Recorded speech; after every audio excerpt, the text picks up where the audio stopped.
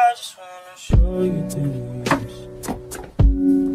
Girl, I'll be different. If I could buy you anything. Cindy.